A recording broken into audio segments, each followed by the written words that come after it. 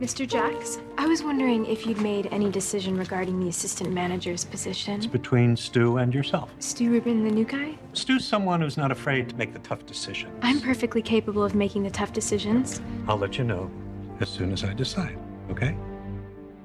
Will you help me? Please. Okay. We have an elderly woman asking for an extension on her mortgage payment. We would have to throw her out of her house. We've already granted her two extensions. It's a tough decision. Your call. Another extension is out of the question. Where will I live? I'm really sorry. Never have I begged for anything, but now I humble myself Mrs. Ganush, before you. please. I beg you. Please let go. Please let go. Security!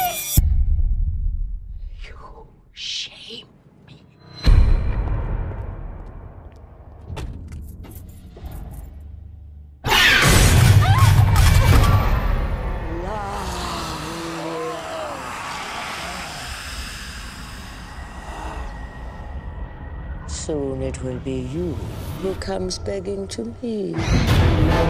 Someone has cursed you.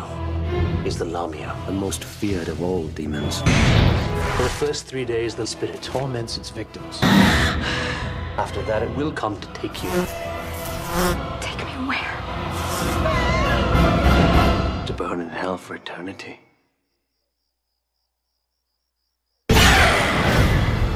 It's coming for me. Please listen to me. There's nothing coming for you. How do I get rid of this? welcome. Dad, You can give the curse away. Dad.